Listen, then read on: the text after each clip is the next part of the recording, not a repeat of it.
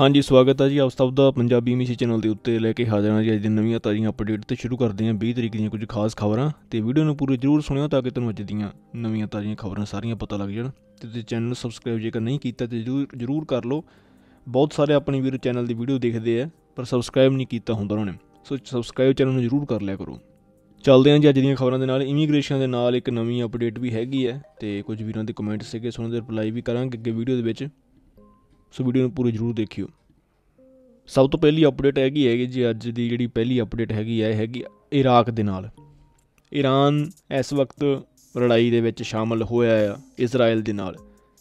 ਤੇ ਅੱਜ ਕੀ ਹੋਇਆ ਜੀ, ਅੱਜ ਈਰਾਨ ਦੇ ਕੁਝ ਅੱਡੇ ਬਣੇ ਹੋਏ ਸੀ, ਕੁਝ ਮਿਲਟਰੀ ਦੇ ਬੇਸ ਬਣਿਆ ਹੋਇਆ ਸੀਗਾ ਇਰਾਕ ਦੇ ਵਿੱਚ। ਤੇ ਉਹ ਉਹਨੇ ਜਿਹੜਾ ਮਿਲਟਰੀ ਬੇਸ ਸੀਗਾ ਜੀ, ਇਹ ਈਰਾਨ ਦਾ ਸੀਗਾ। ਤੇ ਇਹਨਾਂ ਦਾ ਜਿਹੜਾ ਮਿਲਟਰੀ ਬੇਸ ਸੀਗਾ, ਇਹਦੇ ਉੱਤੇ ਅੱਜ ਹਮਲਾ ਹੋਇਆ ਹੈ ਤੇ ਇਹਨਾਂ ਦਾ ਮਿਲਟਰੀ ਬੇਸ ਦਾ ਕਾਫੀ ਨੁਕਸਾਨ ਹੋ ਗਿਆ ਅੱਜ। ਇਹਦੇ ਵਿੱਚ ਧਮਾਕੇ ਹੋਏ ਇਹਨਾਂ ਦੇ ਮਿਲਟਰੀ ਬੇਸ ਦੇ ਵਿੱਚ, ਇਰਾਕ ਦੇ ਵਿੱਚ। ਹੈ ਇਹ ਈਰਾਨ ਦਾ ਸੀਗਾ। ਹੁਣ ਇਹਦੇ ਵਿੱਚ ਫਿਲਹਾਲ ਹੀ ਦੱਸਿਆ ਜਾ ਰਿਹਾ ਵੀ ਇਹਦੇ ਵਿੱਚ ਇਜ਼ਰਾਈਲ ਵੱਲੋਂ ਕੋਈ ਵੀ ਕਾਰਵਾਈ ਨਹੀਂ ਕੀਤੀ ਗਈ ਹੈ, ਵੀ ਇਜ਼ਰਾਈਲ ਨੇ ਹਮਲਾ ਨਹੀਂ ਕੀਤਾ। ਇਹ ਦਾਵਾ ਕਰ ਰਹੇ ਹੋ ਪਰ ਫਿਲਹਾਲ ਮੰਨੇ ਇਹ ਜਾ ਰਿਹਾ ਵੀ ਹੋ ਸਕਦਾ ਇਜ਼ਰਾਈਲ ਦਾ ਹੀ ਹੱਥ ਹੋਵੇ ਇਹਦੇ ਵਿੱਚ। ਫਿਲਹਾਲ ਯੂਐਸਏ ਕਹਿ ਰਿਹਾ ਜੀ ਇਜ਼ਰਾਈਲ ਇਹਦੇ ਵਿੱਚ ਸ਼ਾਮਲ ਨਹੀਂਗਾ। ਪਰ ਹੁਣ ਜਿਹੜਾ ਇਹ ਅੱਜ ਹਮਲਾ ਹੋਇਆ ਹੈ, ਇਹਦੇ ਨਾਲ ਆਉਣ ਵਾਲੇ ਸਮੇਂ ਦੇ ਵਿੱਚ ਲੜਾਈ ਦੇ ਚਾਂਸ ਹੋਰ ਵੀ ਜ਼ਿਆਦਾ ਵੱਧ ਗਏ ਆ। ਸੋ ਇੱਕ ਤਰੀਕੇ ਦੇ ਨਾਲ ਲੜਾਈ ਇਹ ਲੱਗੀ ਹੋਈ ਹੈ ਇਸ ਵਕਤ। ਪਹਿਲਾਂ ਇਹ ਲੜਾਈ ਇਜ਼ਰਾਈਲ ਤੇ ਹਮਸ ਦੇ ਵਿੱਚ ਦੀ ਸੀਗੀ। ਹੁਣ ਇਹ ਲੜਾਈ ਇਜ਼ਰਾਈਲ ਤੋਂ ਨਿਕਲ ਕੇ, ਹਮਸ ਤੋਂ ਨਿਕਲ ਕੇ ਈਰਾਨ ਦੇ ਨਾਲ ਲੱਗ ਚੁੱਕੀ ਆ। ਤੇ ਹੌਲੀ ਹੌਲੀ ਤੁਸੀਂ ਦੇਖਣ ਨੂੰ ਮਿਲੋਗੇ, ਜੇਕਰ ਇਹ ਲੜਾਈ ਨਾ ਖਤਮ ਹੋਈ ਤੇ ਹੌਲੀ ਹੌਲੀ ਕਰਕੇ ਹੋਰ ਜਿੰਨੇ ਵੀ ਦੇਸ਼ ਹੈਗੇ ਆ, ਉਹ ਵੀ ਇਹਦੇ ਵਿੱਚ ਸ਼ਾਮਲ ਹੋਣਗੇ। ਫਿਲਹਾਲ ਜਿਹੜਾ ਹਮਲਾ ਹੋਇਆ ਈਰਾਨ ਦੇ ਵੱਲੋਂ, ਜਿਹਦੇ ਵਿੱਚ 350 ਉਹਨਾਂ ਨੇ ਮਿਸਾਈਲਾਂ ਛੱਡੀਆਂ, ਰਾਕਟ ਛੱਡੇ, ਉਹਦੇ ਵਿੱਚ ਯੂਕੇ ਦੀ ਮਿਲਟਰੀ ਨੇ ਵੀ ਸਾਥ ਦਿੱਤਾ ਇਜ਼ਰਾਈਲ ਦਾ ਤੇ ਯੂਐਸਏ ਦੇ ਜਹਾਜ਼ਾਂ ਨੇ ਵੀ ਸਾਥ ਦਿੱਤਾ। ਇਹਨਾਂ ਦੇ ਵਜ੍ਹਾ ਦੇ ਨਾਲ ਵੀ ਇਜ਼ਰਾਈਲ ਦਾ ਕੋਈ ਜ਼ਿਆਦਾ ਨੁਕਸਾਨ ਨਹੀਂ ਹੋ ਪਾਇਆ। ਤੇ ਦੂਜੀ ਪਾਸੇ, ਇਸ ਵਕਤ ਰਸ਼ੀਆ ਸਪੋਰਟ ਕਰ ਰਿਹਾ ਈਰਾਨ ਦੀ ਤੇ ਰਸ਼ੀਆ ਕਹਿ ਰਿਹਾ ਵੀ ਅਸੀਂ ਤੁਹਾਨੂੰ ਹਥਿਆਰ ਦਵਾਂਗੇ। ਤੇ ਈਰਾਨ ਵੱਲੋਂ ਕੁਝ ਨਵੇਂ ਹਥਿਆਰ ਵੀ ਲਏ ਗਏ ਆ ਤੇ ਈਰਾਨ ਨੇ ਵੀ ਆਪਣੀ ਸੇਫਟੀ ਕੀਤੀ ਆ ਹੁਣ, ਆਪਣੀ 에ਅਰ ਸਪੇਸ ਦੀ ਸੇਫਟੀ ਕੀਤੀ ਜਿੱਦਾਂ ਕਿ ਇਜ਼ਰਾਈਲ ਦੇ ਕੋਲ ਹੈ ਪਰ ਜਿਹੜੀ ਇਹ ਦੱਸਿਆ ਗਿਆ ਵੀ ਜਿਹੜਾ ਅੱਜ ਇਹ ਹਮਲਾ ਹੋਇਆ ਆ, ਇਹ ਹਮਲਾ ਇਜ਼ਰਾਈਲ ਦੇ ਵੱਲੋਂ ਹੀ ਕੀਤਾ ਗਿਆ ਆ। ਇਹਨਾਂ ਵੱਲੋਂ ਹੀ ਮਿਸਾਈਲ ਛੱਡੀ ਗਈ ਹੈ ਜਿਹੜੀ ਇਹ ਮਿਸਾਈਲ ਆ ਇਜ਼ਰਾਈਲ ਦੀ ਬੜੀ ਸਟਰੋਂਗ ਮਿਸਾਈਲ ਆ। ਇਹ ਰਡਾਰ ਦੇ ਵਿੱਚ ਨਹੀਂ ਆਉਂਦੀ ਹੈਗੀ ਮਿਸਾਈਲ ਜਿਹਦੇ ਚੱਲਦੇ ਆ, ਉੱਥੇ ਦਾ ਉਹਨਾਂ ਦਾ ਪੂਰਾ ਬੇਸ ਜਿਹੜਾ ਖਰਾਬ ਹੋ ਗਿਆ ਮਿਲਟਰੀ ਦਾ। ਸੋ ਇਸ ਕਰਕੇ ਆਉਣ ਵਾਲੇ ਸਮੇਂ ਦੇ ਵਿੱਚ ਇਹ ਲੜਾਈਆਂ ਜਿਹੜੀਆਂ ਖਤਮ ਹੋਣ ਵਾਲੀਆਂ ਨਹੀਂ ਗਈਆਂ ਐਕਸਪਰਟਸ ਦਾ ਇਹ ਮੰਨਣਾ ਹੈ ਵੀ ਲੜਾਈ ਆਉਣ ਵਾਲੇ ਸਮੇਂ ਵਿੱਚ ਹੋਰ ਜ਼ਿਆਦਾ ਵੱਧ ਸਕਦੀ ਆ। ਅਸੀਂ ਇਹ ਅਰਦਾਸ ਕਰਦੇ ਹਾਂ ਵੀ ਲੜਾਈਆਂ ਨਾ ਲੱਗਣ ਕਿਤੇ ਵੀ, ਕਿਉਂਕਿ ਇਹਦੇ ਵਿੱਚ ਲੋਕਾਂ ਦੀ ਜਾਨ ਵੀ ਜਾਂਦੀ ਹੈ, ਨੇੜੇ ਕਦੇ ਕੋਈ ਕਸੂਰ ਨਹੀਂ ਹੁੰਦਾ। ਇਹ ਹਾਲ ਇਸ ਵਕਤ ਯੂਰਪ ਦੇ ਵਿੱਚ, ਰਸ਼ੀਆ ਤੇ ਯੂਕਰੇਨ ਦੀ ਜਿਹੜੀ ਵਾਰ ਹੈ, ਉਹਦੇ ਵਿੱਚ ਲੋਕਾਂ ਦਾ ਹੋ ਰਿਹਾ। ਅਗਲੀ ਖਬਰ ਹੈਗੀ ਹੈ ਜੀ ਓਐਨਜੀ ਜਿਹੜੀ ਸੀ ਵਾਚ ਹੈ ਇਹਨਾਂ ਦੀ ਇਹ ਸੀ ਵਾਚ ਵੈਸੇ ਬੇਸਿਕਲੀ ਇਹਨਾਂ ਦਾ ਜਿਹੜਾ ਜਹਾਜ਼ ਹੈ, ਜਿਹੜਾ ਕਿ ਸਮੁੰਦਰ ਦੇ ਵਿੱਚ ਤੈਰਦਾ ਆ, ਤੇ ਇਹ ਸਮੁੰਦਰ ਦੇ ਵਿੱਚ ਇਹਦਾ ਕੰਮ ਇਹ ਆ ਵੀ ਜੇਕਰ ਕੋਈ ਇਹਨਾਂ ਨੂੰ ਬੰਦਾ ਲੱਭਦਾ ਆ, ਉਹਦੀ ਹੈਲਪ ਕਰਦੇ ਆ। ਫੋਰ ਐਗਜ਼ਾਮਪਲ ਜੇਕਰ ਜਿਹੜੇ ਲੋਕ ਡੌਂਕੀ ਲਾ ਕੇ ਆ ਰਹੇ ਆ, ਕਿਉਂਕਿ ਇੰਟਰਨੈਸ਼ਨਲ ਸੀ ਦੇ ਵਿੱਚ ਜਿਸ ਵਕਤ ਹੁੰਦੇ ਆ, ਤੇ ਉਹਨਾਂ ਦਾ ਫਰਜ਼ ਬਣਦਾ ਵੀ ਇਹਨਾਂ ਨੂੰ ਬਚਾਇਆ ਜਾਵੇ। ਤੇ ਇਸ ਕਰਕੇ ਇਹ ਜਿੰਨੇ ਵੀ ਹੈਗੇ ਆ ਵਰਕਰਸ ਇਸ ਸ਼ਿਪ ਦੇ ਵਿੱਚ ਜਾਂ ਜਿੰਨੇ ਵੀ ਹੋਰ ਐਸੀਆਂ ਆਰਗੇਨਾਈਜੇਸ਼ਨ ਹੈਗੀਆਂ, ਉਹ ਬੰਦਿਆਂ ਨੂੰ ਬਚਾ ਲੈਂਦੀਆਂ। ਤੇ ਉਹ ਜਿਸ ਵਕਤ ਬੰਦਿਆਂ ਨੂੰ ਬਚਾਉਂਦੀਆਂ ਉਹਨਾਂ ਦਾ ਮਕਸਦ ਇਹ ਹੁੰਦਾ ਵੀ ਜਿਹੜਾ ਵੀ ਲਾਗੇਲਾ ਦੇਸ਼ ਲੱਗਦਾ ਆ, ਉਹਨਾਂ ਨੂੰ ਉਸ ਦੇਸ਼ ਦੇ ਵਿੱਚ ਲੈ ਕੇ ਜਾਣਾ। ਹੁਣ ਜਿਹੜੇ ਬੰਦੇ ਤੁਨੀਜ਼ੀਆ ਤੋਂ ਚੱਲਦੇ ਆ ਜਾਂ ਜਿਹੜੇ ਬੰਦੇ ਅਫਰੀਕਾ ਤੋਂ ਇਧਰਲੇ ਕੰਟਰੀਆਂ ਤੋਂ ਚੱਲਦੇ ਆ, ਇਹਨਾਂ ਦਾ ਸਭ ਤੋਂ ਜਿਹੜਾ ਲਾਗੇਲਾ ਦੇਸ਼ ਯੂਰਪ ਦਾ, ਸਭ ਤੋਂ ਪਹਿਲਾਂ ਇਟਲੀ ਦੇ ਜਿਹੜੇ ਪੋਰਟ ਦੇ ਅੱਗੇ ਆਉਂਦੇ ਆ। ਹੁਣ ਇਹਨਾਂ ਦਾ ਕੀ ਹੈ ਜੀ, ਜਿਹੜਾ ਇਟਲੀ ਦਾ ਕੋਸਟਲ ਗਾਰਡ ਹੁੰਦੇ ਆ, ਜਿਹੜੀ ਕਿ ਇਟਲੀ ਦੇ ਸਮੁੰਦਰ ਦੇ ਵਿੱਚ ਪੁਲਿਸ ਵਾਲੇ ਰੱਖਿਆ ਕਰਦੇ ਇਟਲੀ ਦੀ ਸੇਫਟੀ ਦੇ ਵਾਸਤੇ ਇਹ ਓਵਨ ਜਿਹੜੀ ਸ਼ਿਪ ਹੈ ਸੀ ਵਾਚ ਇਹਨਾਂ ਨੂੰ ਇਸ ਵਕਤ ਇਹ ਮਾਮਲਾ ਕੋਰਟ ਵਿੱਚ ਲੈ ਕੇ ਜਾ ਰਹੇ ਆ। ਇਹ ਕਹਿ ਰਹੇ ਆ ਵੀ ਜਿਹੜੇ ਇਟਲੀ ਦੇ ਕੋਸਟਲ ਗਾਰਡ ਹੈਗੇ ਆ, ਇਹ ਇਸ ਵਕਤ ਜਿਹੜੇ ਲੋਕ ਸਮੁੰਦਰ ਦੇ ਵਿੱਚ ਫਸ ਜਾਂਦੇ ਆ ਮਾਈਗ੍ਰੈਂਟ ਉਹਨਾਂ ਦੀ ਜ਼ਿੰਦਗੀ ਦੇ ਨਾਲ ਖਿਲਵਾੜ ਕਰਦੇ ਪਏ ਆ। ਇਟਲੀ ਦੀ ਪੁਲਿਸ ਜਿਹੜੀ ਹੈ ਉਹਨਾਂ ਨੂੰ ਅੰਦਰ ਨਹੀਂ ਲੈ ਕੇ ਜਾ ਰਹੀ, ਉਹਨਾਂ ਨੂੰ ਇਸ ਵਕਤ ਜਾਣ ਬੁੱਝ ਕੇ ਇਹ ਸਮੁੰਦਰ ਦੇ ਵਿੱਚ ਰਹਿਣ ਦਿੰਦੇ ਆ। ਇਹ ਇਹਨਾਂ ਨੇ ਆਰੋਪ ਲਗਾਇਆ ਇਟਲੀ ਦੇ ਉੱਤੇ। ਕਿਉਂਕਿ ਇਟਲੀ ਅੱਗੇ ਇਸ ਵਕਤ ਜਿਹੜੀ ਇਮੀਗ੍ਰੇਸ਼ਨ ਜਿਹੜੀ ਇਲੀਗਲ ਹੁੰਦੀ ਆ, ਸਮੁੰਦਰਾਂ ਰਾਹੀਂ ਬਚਾਇਆ ਜਾਂਦਾ ਲੋਕਾਂ ਨੂੰ, ਉਹਨੂੰ ਲੈ ਕੇ ਕਾਫੀ ਜ਼ਿਆਦਾ ਪਰੇਸ਼ਾਨ ਆ। ਲਗਾਤਾਰ ਬੰਦੇ ਇਟਲੀ ਵਿੱਚ ਐਂਟਰੀ ਕਰ ਰਹੇ ਆ। ਉਹਨਾਂ ਨੂੰ ਅੱਗੇ ਸਾਂਭਣ ਦੀ ਲੋੜ ਪੈ ਰਹੀ ਆ। ਜਿਹੜਾ ਬੰਦਾ ਇਟਲੀ ਵਿੱਚ ਐਂਟਰੀ ਕਰਦੇ ਆ, ਤੁਹਾਨੂੰ ਆਪਾਂ ਕੁਝ ਸਮੇਂ ਪਹਿਲਾਂ ਇੱਕ ਡਾਟਾ ਦੱਸਿਆ ਸੀਗਾ ਵੀ ਕਾਫੀ ਹਜ਼ਾਰਾਂ ਦੀ ਗਿਣਤੀ ਦੇ ਵਿੱਚ ਬੰਦਾ ਇਟਲੀ ਵਿੱਚ ਐਂਟਰ ਕੀਤਾ ਆ। ਜਿਹੜੇ ਡਿਪੋਰਟ ਕਰਨ ਵਾਲੇ ਬੰਦੇ ਆ, ਉਹ ਬਹੁਤ ਘੱਟ ਆ। ਐਂਟਰੀ ਲੱਖਾਂ 'ਚ ਹੋਈ ਆ ਡਿਪੋਰਟ ਬਹੁਤ ਘੱਟ ਹੋਇਆ।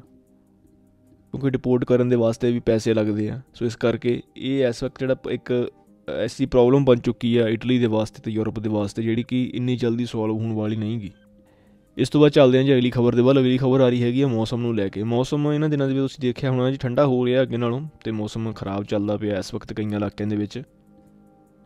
ਕੱਲ ਨੂੰ 21 ਅਪ੍ਰੈਲ ਹੈ ਤੇ ਕੱਲ ਦੇ ਵਾਸਤੇ ਤਿੰਨ ਸਟੇਟਾਂ ਦੇ ਵਾਸਤੇ ਜੀ ਵੈਦਰ ਦਾ ਅਲਰਟ ਜਾਰੀ ਆ। ਇਹਦੇ ਵਿੱਚ ਪਹਿਲੀ ਸਟੇਟ ਆਉਂਦੀ ਹੈਗੀ ਆ ਬਰੂਤਸੋ ਮੁਲੀਜ਼ੇ ਤੇ ਪੂਲੀਆ। ਇਹ ਤਿੰਨ ਸਟੇਟਾਂ ਦੇ ਵਿੱਚ ਕੱਲ ਨੂੰ ਮੌਸਮ ਖਰਾਬ ਰਹਿਣ ਵਾਲਾ ਆ। ਬਾਕੀ ਇਟਲੀ ਦੀ ਜੇਕਰ ਗੱਲ ਕਰਦੇ ਆ ਨਾਰਥ ਇਟਲੀ ਦੇ ਵਿੱਚ ਜਿਹੜਾ ਮੌਸਮ ਹੈ ਜੀ, ਇਹ ਦੱਸਿਆ ਜਾ ਰਿਹਾ ਵੀ ਅੱਜ ਰਾਤ ਮੀਂਹ ਪੈਣ ਦੀ ਸੰਭਾਵਨਾ ਹੈਗੀ ਆ ਕਈ ਇਲਾਕਿਆਂ ਦੇ ਵਿੱਚ ਅੱਜ ਰਾਤ ਮੀਂਹ ਪੈ ਜਵੇ, ਜਿਹਦੇ ਚੱਲਦੇ ਆ ਟੈਂਪਰੇਚਰ ਘਟ ਜਾਣ ਜਾਂ ਫਿਰ ਸਵੇਰ ਨੂੰ ਕਈਆਂ ਇਲਾਕਿਆਂ ਵਿੱਚ ਬੱਦਲਵਾਈ ਹੋਣ ਦੀ ਸੰਭਾਵਨਾ ਕਾਫੀ ਬਣੀ ਹੋਈ ਆ ਕੱਲ ਦੇ ਦਿਨ ਤੇ ਕੱਲ ਦੇ ਦਿਨ ਵੀ ਮੀਂਹ ਪੈ ਸਕਦਾ। ਬਾਕੀ ਮਾਰਕੀਆ ਬਰੂਸੋ ਦੇ ਵਿੱਚ ਕਾਫੀ ਜ਼ਿਆਦਾ ਬੱਦਲਵਾਈ ਦੱਸੀ ਹੋਈ ਆ ਤੇ ਜਿਹੜੇ ਪਹਾੜੀ ਇਲਾਕੇ ਲੱਗਦੇ ਆ, ਜਿਨ੍ਹਾਂ ਦੀ ਹਾਈਟ 1200 ਮੀਟਰ ਤੋਂ ਉੱਤੇ ਲਈ ਆ, ਉਹਨਾਂ ਦੇ ਉੱਤੇ ਬਰਫ਼ਬਾਰੀ ਵੀ ਹੋਣ ਦੀ ਸੰਭਾਵਨਾ ਦੱਸੀ ਹੋਈ ਆ ਜੇਕਰ ਸਾਊਥ ਇਟਲੀ ਦੀ ਗੱਲ ਕਰਦੇ ਹਾਂ, ਤੇ ਸਾਊਥ ਇਟਲੀ ਦੇ ਵਿੱਚ ਇਸ ਵਕਤ ਟੈਂਪਰੇਚਰ ਕੱਲ ਦੇ ਵਾਸਤੇ ਖਰਾਬ ਦੱਸਿਆ ਜਾ ਰਿਹਾ। ਬੱਦਲਵਾਈ ਰਹਿਣ ਦੀ ਸੰਭਾਵਨਾ ਹੈਗੀ ਆ, ਖਾਸ ਕਰ ਮੋਲੀਜ਼ੇ ਤੇ ਪੂਲੀਆ ਦੇ ਵਿੱਚ। ਤੇ 올 ਓਵਰ ਜੇਕਰ ਇਟਲੀ ਦੀ ਗੱਲ ਕਰਦੇ ਆ ਤੇ ਮੌਸਮ ਕੱਲ ਨੂੰ ਠੰਡਾ ਰਹਿਣ ਵਾਲਾ ਆ। ਅੱਜ ਵੀ ਮੌਸਮ ਠੰਡਾ ਆ, ਤੇ ਕੱਲ ਨੂੰ ਵੀ ਮੌਸਮ ਠੰਡਾ ਆ। ਤੇ ਹੱਲੇ ਫਿਲਹਾਲ ਕਈ ਦਿਨ ਦਾ ਵਾਸਤੇ ਮੌਸਮ ਇਦਾਂ ਦਾ ਹੀ ਰਹਿਣ ਵਾਲਾ ਆ। ਅਗਲੇ ਹਫ਼ਤੇ ਦਾ ਜਿਹੜਾ ਮੌਸਮ ਦੱਸਿਆ ਜਾ ਰਿਹਾ ਆ, ਜਿਹੜਾ ਕਿ ਤੁਹਾਨੂੰ ਆਪਾਂ ਆਉਣ ਵਾਲੀ ਵੀਡੀਓ ਵਿੱਚ ਦੱਸਾਂਗੇ।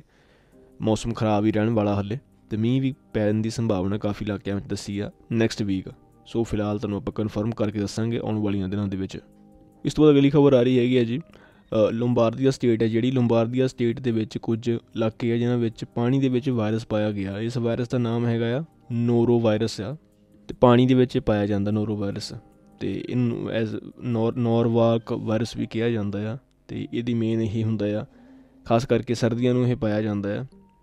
ਤੇ ਇਹਦੇ ਵਿੱਚ ਉਲਟੀਆਂ ਵਗੈਰਾ ਆ ਸਕਦੀਆਂ ਆ। ਇਸ ਤੋਂ ਇਲਾਵਾ ਤੁਹਾਨੂੰ ਹੋਰ ਕੋਈ ਇਨਫੈਕਸ਼ਨ ਹੋ ਸਕਦੀ ਆ ਡਿਆਰੀਆ ਵਗੈਰਾ ਹੋ ਸਕਦਾ ਹੈ ਜਾਂ ਤੁਹਾਡੇ ਢਿੱਡ ਵਿੱਚ ਦਰਦ ਵਗੈਰਾ ਹੋ ਸਕਦੀ ਆ ਜਾਂ ਬੁਖਾਰ ਜਾਂ ਫਿਰ ਤੁਹਾਨੂੰ ਸਿਰ ਦਰਦ ਹੋ ਸਕਦਾ। ਤੇ ਨੋਰੋਵਾਇਰਸ ਜਿਹੜਾ ਹੁੰਦਾ ਹੈ ਜੀ, ਇਹਨੂੰ ਕਲੋਰਾਈਨ ਬਲੀਚ ਸੋਲੂਸ਼ਨ ਹੁੰਦਾ, ਇਹਦੇ ਵਾਸਤੇ ਜਿਹੜਾ ਕਿ ਕਨਸੈਂਟ੍ਰੇਸ਼ਨ ਕਰਕੇ 1000 ਤੋਂ 5000 ppm ਦੇ ਵਿੱਚ ਪਾਇਆ ਜਾਂਦਾ ਆ। ਇਸ ਨੂੰ ਜਿਸ ਵਕਤ ਸਾਫ਼ ਕੀਤਾ ਜਾਂਦਾ ਇਸੇ ਕਰਕੇ ਕਲੋਰਾਈਨ ਜਿਹੜਾ ਆ, ਪਾਇਆ ਜਾਂਦਾ ਪਾਣੀਆਂ ਦੇ ਵਿੱਚ, ਤਾਂ ਕਿ ਇਦਾਂ ਦੇ ਕੋਈ ਵਾਇਰਸ ਪੈਦਾ ਨਾ ਹੋਣ।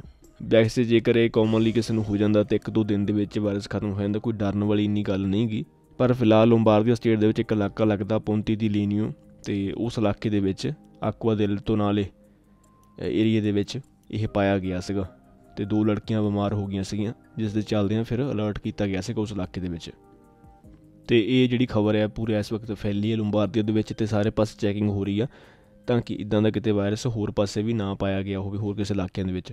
ਇਸ ਤੋਂ ਬਾਅਦ ਚੱਲਦੇ ਹਾਂ ਜੀ, ਅਗਲੀ ਖਬਰ ਤੋਂ ਅਗਲੀ ਖਬਰ ਆ ਰਹੀ ਹੈਗੀ ਆ ਮਿਲਾਨ ਤੋਂ। ਮਿਲਾਨੋ ਦੇ ਵਿੱਚ ਅੱਜ ਇੱਕ 51 ਸਾਲ ਦੇ ਆਦਮੀ ਨੂੰ ਅਰੈਸਟ ਕੀਤਾ ਗਿਆ ਪੁਲਿਸ ਦੇ ਵੱਲੋਂ, ਤੇ ਇਸ ਨੂੰ ਅਰੈਸਟ ਇਸ ਕਰਕੇ ਕੀਤਾ ਗਿਆ ਕਿਉਂਕਿ ਮਿਲਾਨੋ ਦਾ ਮੈਟਰੋ ਦਾ ਇਲਾਕਾ ਲੱਗਦਾ ਜੀ ਲੰਬਰਾਤੇ ਇਹਦੇ ਵਿੱਚ ਜਿਹੜੀ ਮੈਟਰੋ ਲਾਈਨ ਚੱਲਦੀ ਹੈ, ਤੇ ਉੱਥੇ ਇੱਕ 24 ਸਾਲ ਦੀ ਲੜਕੀ ਸੀਗੀ ਜਿਹੜੀ ਕਿ ਮੈਟਰੋ ਦੀ ਵੇਟ ਕਰ ਰਹੀ ਸੀਗੀ, ਤੇ ਇਸ ਬੰਦੇ ਵੱਲੋਂ ਕੀ ਕੀਤਾ ਗਿਆ? ਇਸ ਬੰਦੇ ਵੱਲੋਂ ਉਸ ਨੂੰ ਧੱਕਾ ਮਾਰ ਦਿੱਤਾ ਗਿਆ ਲੜਕੀ ਨੂੰ ਪਿੱਛੋਂ। ਤੇ ਲੜਕੀ ਥੱਲੇ ਜਿਹੜੀਆਂ ਲਾਈਨਾਂ ਹੁੰਦੀਆਂ ਉਹਨਾਂ ਤੇ ਜਾ ਕੇ ਡਿੱਗ ਪਈ। ਪਰ ਉਸ ਦਾ ਬਚਾਅ ਹੋ ਗਿਆ ਜੀ ਲੜਕੀ ਉਸ ਵਕਤ ਕੋਈ ਮੈਟਰੋ ਉਧਰੋਂ ਆ ਨਹੀਂ ਰਹੀ ਸੀਗੀ।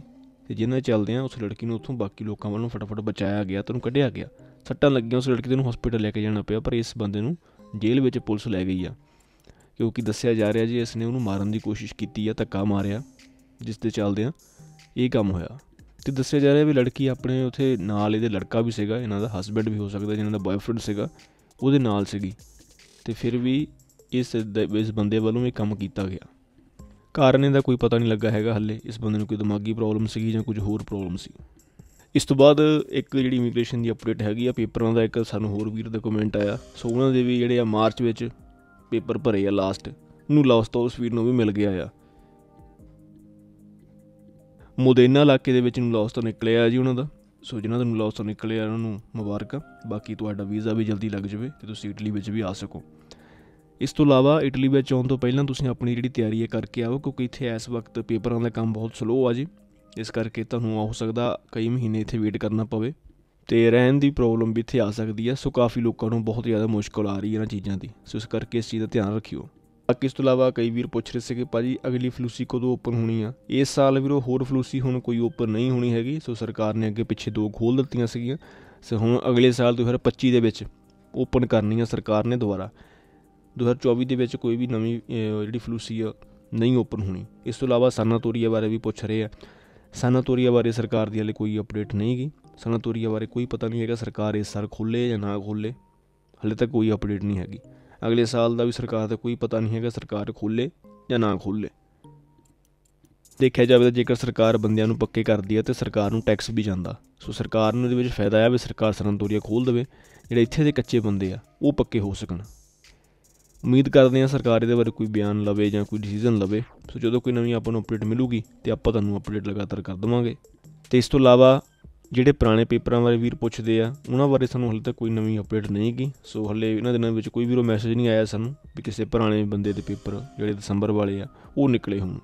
ਤੇ ਲਾਸਟ ਦੇ ਵਿੱਚ ਕਿਸੇ ਵੀਰ ਦਾ ਮੈਸੇਜ ਸੀਗਾ ਤੇ ਉਹ ਵੀਰ ਕਹਿ ਰਿਹਾ ਸੀਗਾ ਵੀ ਤੁਹਾਡੀਆਂ ਸਾਰੀਆਂ ਖਬਰਾਂ ਗਲਤ ਹੁੰਦੀਆਂ। ਤੇ ਉਸ ਵੀਰ ਦਾ ਵੀ ਧੰਨਵਾਦ, ਗਲਤ ਖਬਰਾਂ ਸੁਣਨ ਦੇ ਵਾਸਤੇ। ਤੁਸੀਂ ਫਿਰ ਵੀ ਆਪਣਾ ਟਾਈਮ ਕੱਢਦੇ ਹਰ ਰੋਜ਼ ਤੁਹਾਡਾ ਬਹੁਤ ਬਹੁਤ ਧੰਨਵਾਦ। ਤੇ ਬਾਕੀ ਮਿਲਦੇ ਹਾਂ ਜੀ, ਆਪਾਂ ਕੱਲ੍ਹ ਦੀਆਂ ਖਬਰਾਂ ਨਾਲ ਆਪਣੇ ਤੋਂ ਆਪਣੇ ਪਰਿਵਾਰ ਦਾ ਖਿਆਲ ਰੱਖਿਓ। ਤੇ ਜਿਨ੍ਹਾਂ ਨੇ ਵੀਡੀਓ ਨੂੰ ਲਾਈਕ ਕੀਤਾ, ਉਹਨਾਂ ਸਾਰਿਆਂ ਦਾ ਬਹੁਤ ਬਹੁਤ ਧੰਨਵਾਦ। ਮਿਲਦੇ ਹਾਂ ਜੀ ਅਗਲੀ ਅਪਡੇਟ ਦੇ ਨਾਲ ਨੈਕਸਟ ਵੀਡੀਓ ਦੇ ਵਿੱਚ।